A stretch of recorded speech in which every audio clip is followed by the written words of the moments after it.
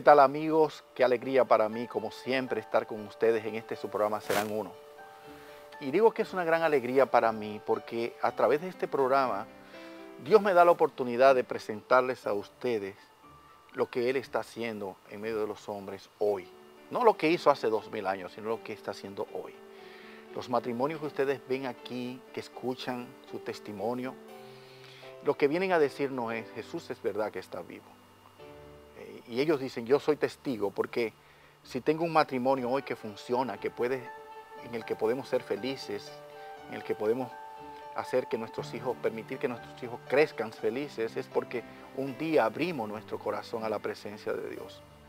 Y lo bueno de todo esto es que esto no es solo para los que vienen aquí, que este, esto es para ustedes también.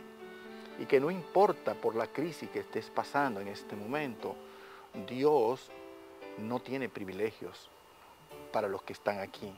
Él también quiere que tú abras tu corazón y Él hará lo mismo que ha hecho en ellos también. Y un día tú también podrás dar testimonio de cómo cuando parecía imposible, Dios llegó a tu vida y todo se transformó. Ese es el milagro de la obra de Dios.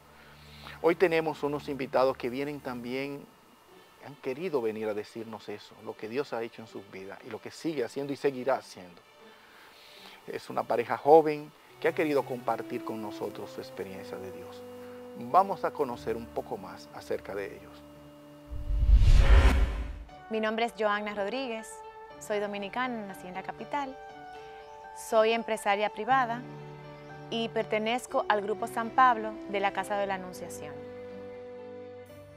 Mi nombre es Iván Montero, nací en Santo Domingo, eh, soy empresario en el área de combustible y pertenezco a la parroquia eh, de la Casa de la Anunciación, específicamente en el Grupo San Pablo.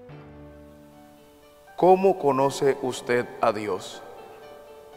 En un momento desordenado de, nuestras vidas, o particularmente de mi vida, comenzó esa búsqueda, precisamente porque el vacío ya existía. Eh, fui a la casa de la Anunciación eh, y tuve un encuentro personal con el Señor, porque en el momento menos esperado, alguien a quien no conocía se me acercó y jamás olvidaré sus palabras cuando me dijo, si estás aquí es porque Dios te ha elegido. Y desde entonces comenzó esa búsqueda y esa necesidad del Señor.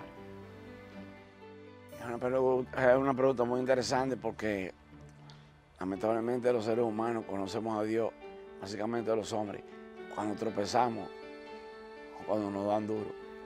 En el caso propio, eh, Conocí a Dios después de una gran crisis económica, producto de, una enfermedad que se me presentó eh, llamada ditoría cervical y prácticamente toqué fondo. En ese momento eh, yo recurrí a, a, Pedro, un tío diácono que tenemos, que sirve en la casa de anunciación casualmente, para que eh, la casa o algo parecido, o hiciera una oración, que uno no conocía del, de, la profundidad del tema. Y nos recomendó visitar una pareja de esposos eh, que justamente vivían en la esquina de mi casa, que es el Grupo San Pablo, doña Elba y don Alexis Camilo, hoy fallecido en la mano del Señor, don Alexis. Allí nos recibieron muy cortésmente y fue el momento en que prácticamente comencé a conocer los caminos del Señor, en mano de ayudó. ¿Qué ha sido lo más difícil que le ha tocado vivir dentro de su matrimonio? La crisis eh, financiera ha sido un detonante en nuestras vidas, pero sobre todo la situación de salud de mi esposo. Iván en un momento crucial de nuestra vida presentó una enfermedad un poco inusual, que se llama distonía cervical, y a partir de ese momento todo realmente se complicó. Y obviamente la parte económica se vio grandemente afectada. Los negocios colapsaron, proyectos que teníamos toda la esperanza en ellos colapsaron por igual. Y pues sobrellevar esa situación, sobrellevar una familia, niños pequeños con todas las necesidades, no es realmente fácil. Pero lo logramos gracias a Dios con, porque todo lo pusimos en sus manos, pero esa fue la situación más difícil eh, dentro del matrimonio.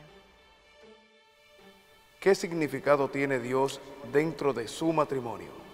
Total, o sea, Dios para mí es un todo, Dios es amor, Dios es mi seguridad. Eh, no puedo salir a la calle sin, sin orar, sin orar la palabra del día, eh, hablar con Él en intimidad para sentirme más seguro y ofrecerle el día a Él, su protección prácticamente. ¿Qué significado tiene su esposo para usted? Iván es todo para mí. Es mi soporte en todos los momentos, en los momentos buenos y en los momentos malos es un gran hombre, lo admiro mucho, porque ha sido para mí ese, ese, ese protector, ese, ese apoyo incondicional, aún, aún en los momentos donde los errores los había cometido yo. Siempre he contado con su, con su respaldo, apoyo hacia mi familia de manera incondicional pero sobre todo es un gran hombre y es un gran ejemplo para mis hijos. ¿Qué significado tiene su esposa para usted? Bueno, mi esposa es mi bastón, como yo digo. Eh, en los momentos difíciles yo me, apoyo de ella y viceversa. Somos muy unidos eh, en todos los ámbitos de la palabra. Eh, o sea, no hacemos una cosa sin consultarlo uno con el otro. Y en el ámbito espiritual, de igual manera. Eh, participamos conjuntamente de la mayoría de las actividades que se pueda eh, cristiana y lo hacemos casi siempre con, con nuestro grupo de comunidad.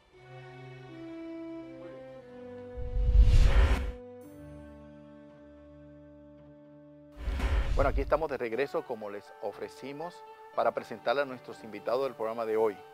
Bueno, aquí tenemos con nosotros esta pareja que es bastante joven, ¿verdad que sí? Bueno, o por lo menos se ven bastante joven, ¿verdad? Gracias se ven así. Y como uno tiene la edad que aparenta, entonces para mí son muy bien jóvenes. ¿no? gracias, gracias. gracias Aquí tenemos con nosotros a Iván Montero y a Ivana Rodríguez de Montero. Joanna. Joanna. Sí. Bienvenidos. Un honor, don Roberto. Que Dios los bendiga mucho y gracias por haber dicho que sí al programa, ¿verdad? A ser valiente y venir. Claro que sí. Porque dice la palabra de Dios que a nadie se le da una luz para que la esconda debajo de la mesa, ¿verdad? Sino es con la intención de que la pongan en un lugar alto. Correcto. Donde pueda iluminar a todos los demás. Entonces, cada vez que Dios hace algo en nuestras vidas, nosotros tenemos el deber de salir a proclamar eso que el Señor ha hecho. Correcto. A dar testimonio, en agradecimiento por lo que el Señor ha hecho, ¿verdad? eso es. lo que ustedes están haciendo y es lo que hacen todos los que se sientan en, esa, en ese lugar a dar testimonio. Por eso yo le doy las gracias por haber dicho que sí al Señor y ser agradecidos, ¿verdad que sí? Claro que sí. Amén. bueno, pues quisiéramos nosotros, y yo sé que los amigos también del programa, como siempre, conocer un poquito de ustedes, eh, de su vida, y para eso, pues qué bueno si nos remontamos al inicio de toda esta historia, ¿verdad? De esta hermosa historia de amor, que es la historia en que ustedes están compartiendo sus vidas, ¿verdad? Así, es. Eh, ¿Cómo comienza esto, esta primera mirada, esto, ese primer instante? Que yo sé que nunca uno lo olvida, ¿verdad que no? Pasan los años, pero eso no se olvida. Jamás, jamás se olvida. ¿Quién quiere comenzar con cuál fue el primer, el primer contacto que hubo entre estas dos personas Joana empieza. Que ya llevan 17 años, no juntos, ¿no? Más porque no estamos contando el noviazgo, 18 años. Realmente nosotros tuvimos un noviazgo corto, pero hace 18 años nos conocimos trabajando. Yo lo visité a su empresa en aquel momento porque yo estaba trabajando publicidad móvil y él precisamente estaba buscando ese servicio. Entonces nos conocimos en su oficina y a partir de ahí pues comenzó una historia de amor increíble. ¿Es verdad? Así es. ¿Y qué pasó cuando esta joven tan elegante se presentó a tu oficina, verdad? A presentarte un proyecto de trabajo, de negocio. ¿Qué- ¿Cuál fue tu impresión primera? ¿Tú te acuerdas bien lo que pasó ahí? Digo yo, bueno, vamos a brindarle varios cafés para que se quede mucho tiempo aquí. Aquí vamos a hablar mucho y yo. Eh, cuando entró Joana, yo dije, qué elegancia, eh, bonita persona, bonita eh, sonrisa. Y cuando le dije, siéntate, que tú querías tomar un cafecito, le brindé un café. A mí me encanta el café. Y a mí también. Bueno, pues creo que nos tomamos como siete cafés, porque duramos como cuatro horas conversando. Así fue. Empezamos hablando del negocio, de cómo se podía eh, ensamblar el negocio de la publicidad en aquel momento en la empresa. Y de ahí en adelante empezó nuestra relación prácticamente. Tú dices que duraron como cuatro horas hablando. Así Pero yo te de voy a todo. decir una cosa. De publicidad hablamos poco. Pero yo te voy a decir una cosa, Iván, no hay forma de hablar poco con cuatro tazas de café. ¿eh? No, no, no. Se habló Así mucho. fue, se habló mucho. Seguro que Sí. se iba a hablar mucho ahí. Se habló mucho. Bueno, eso termina ahí, esa visita termina ahí, ustedes cada uno se va para su casa, Sí. ¿verdad? Cada- Tú te quedas en tu oficina, ella se va a continuar eh, su trabajo y, Así sus planes y sus citas que tiene ya por ahí seguro de, con otros clientes también. Así fue. Pero ¿qué pasó en el corazón de Iván cuando Joana se va? Bueno, a mí nunca me había palpitado tanto el corazón viendo una, una dama. Y dije, bueno, yo como que siento algo especial por ella. Y creo que vamos a cerrar el negocio para seguirla viendo. Y realmente fue así. Dije, eh, tú no calculaste mucho No los pros y los contras del negocio, No ¿no? calculé mucho, ¿no? Eh, aparte de que era muy atractivo, se cerró el negocio y de ahí en adelante tuvimos muchas relaciones, tanto en el negocio como a nivel personal. Salimos varias veces, nos conocimos y ahí empezó una bonita relación. Y tú, Joana, ¿cómo, ¿qué pasó cuando tú saliste de esa oficina? Bueno, tú vas con cuatro tazas de café. Sí, Me exacto. imagino que está exaltada un poco, ¿no? Con- Así con, el, fue. con el fruto del café, pero sobre todo yo quiero que tú me digas qué pasó cuando tú saliste de ahí. ¿Qué impresión dejó en ti este hombre? Bueno, realmente cuando yo lo Aparte conocí... del negocio. Aparte del negocio, que por suerte se cerró, pero independientemente de eso, eh, conocí a un gran hombre, a un gran ser humano. Y como en la conversación, obviamente, durante el tiempo que estuvimos juntos, no todo fue publicidad, no todo fue trabajo. Y entre una cosa y otra caímos en el plano personal. Eh, cada uno eh, externando situaciones diferentes en la vida y comenzamos a tener conversaciones ya propias de las situaciones que vive cada día la gente. Y eso fue muy lindo porque cuando uno conecta con una persona de una manera tan espontánea, de una manera tan, tan llana, tan franca, y que tú te sientes tan cómodo conversando con alguien, es porque definitivamente hay cosas en común. claro. Y eso realmente fue algo que me marcó mucho. Además de que en ese momento yo estaba pasando por momentos difíciles en mi vida, en el plano personal. Y mi vida en ese momento estaba desorden- desordenada. Entonces, eh, realmente fue como, como ese, esa punta de lanza de uno poder identificar a una persona con la que uno puede tener una historia para siempre. Y eso fue Iván en ese momento para mí. Yo me quedé con ese sabor. Qué bueno, qué bueno, ¿eh? Cómo el Señor se encarga de poner a las personas a encontrarse, ¿verdad? Sí, sí, así fue. Y la, la pregunta ahora es, ¿cómo continúa eso? ¿Qué pasó, Iván? ¿Qué hiciste tú después? Porque yo sé que tú no te quedaste ahí nada más, ¿no? No, ¿Qué no. fue lo primero que hiciste después? Porque ya ella pasó ese día y, y yo imagino que tú te quedaste muy inquieto, No, empezamos a, a- a salir. pero te llamaste por teléfono. Claro, llamé por teléfono, creo que almorzamos varias veces juntos. Eh, hablamos sobre temas ya eh, más íntimos, personalizados de la Pero cuando tú hiciste esa individual. primera llamada, ¿qué fue lo, ¿cuál fue el inicio de tu conversación? ¿Asuntos de negocio o qué? Yo me imagino que comenzaste con los negocios, ¿no? Bueno, No, ese me era, gusta el plan. ese era el vínculo en el momento. Empecé con el En el negocio. momento el vínculo era el Me gusta el negocio. plan que me ofreciste, Sí. ¿no? La primera Pero me gustaría ver si pudiéramos detallarlo un poco más Correcto. con una cena que te estoy invitando esta noche para ver. Estoy poniendo palabras en ti. No, pero usted lo está diciendo y no es relajo. No fue una cena, fue un almuerzo, está el caso. Es verdad. Sí. Y casualmente en ese sitio fue que eh, se planteó todo el negocio ya finalmente, de cómo se iba a hacer. Y, y fue el inicio de nuestra relación personal. Así fue. Seguimos saliendo, seguimos conociéndonos. Y le voy a decir la verdad, muy sanamente. O sea, porque eh, nosotros los hombres que estamos solos, a veces somos callejeros. Pero cuando usted quiere una persona para una relación diferente, uno lo toma diferente con esa persona. Yo te voy a detener ahí, porque quiero eh, destacar lo que estás diciendo. Sobre todo para las personas que a lo mejor todavía no se han casado, que están viviendo ese noviazgo en este momento. Tú acabas de decir algo muy importante. Sí. Cuando una persona piensa en la otra con relación a, una, a- a algo serio, que le importa de verdad, que se está tomando en serio esto, toma una actitud totalmente distinta. Totalmente. Las muchachas tienen que aprender a, leer eso.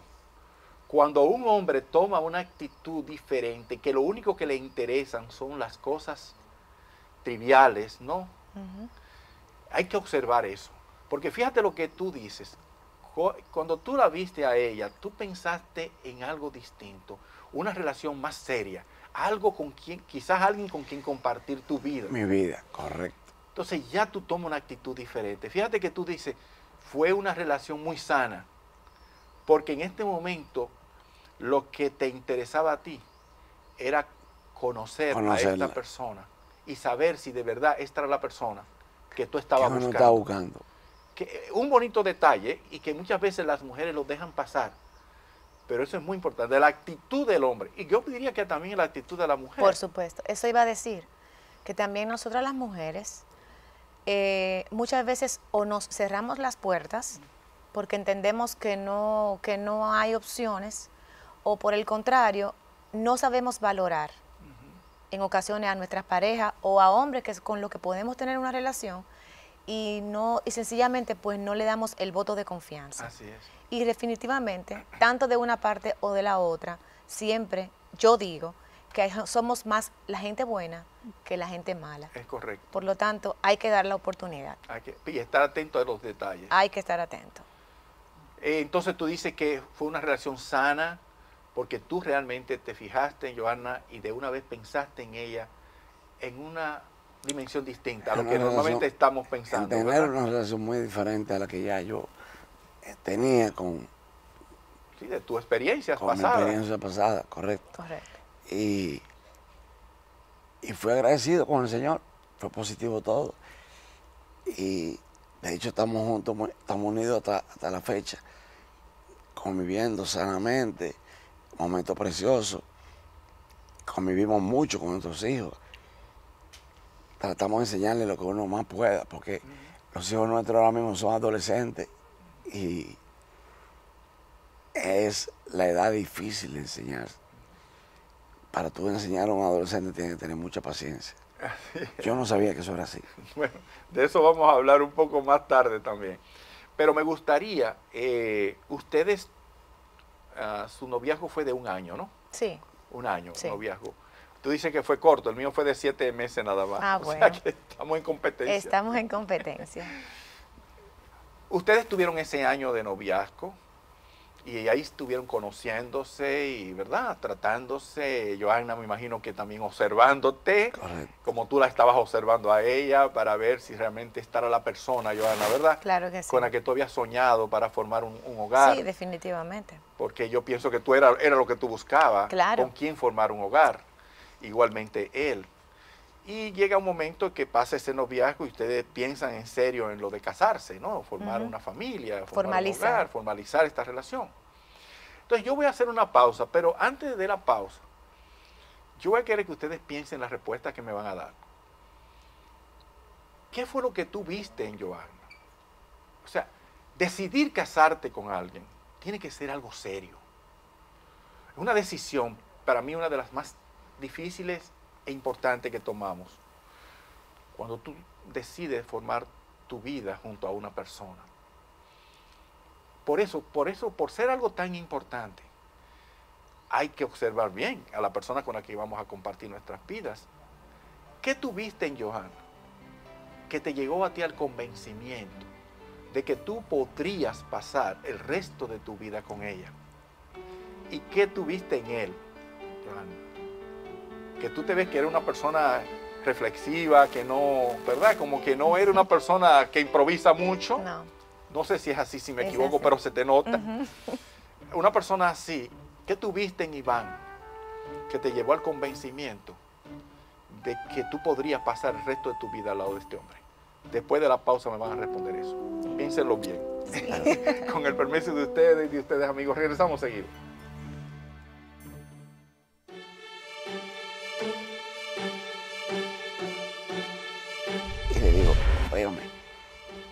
Quiero que conozca a una persona que estoy conociendo. Y al final, no ahora, después, usted me da su opinión. Entonces, mi madre fue, hizo como si fuera rápidamente un clic con ella y mi padre también.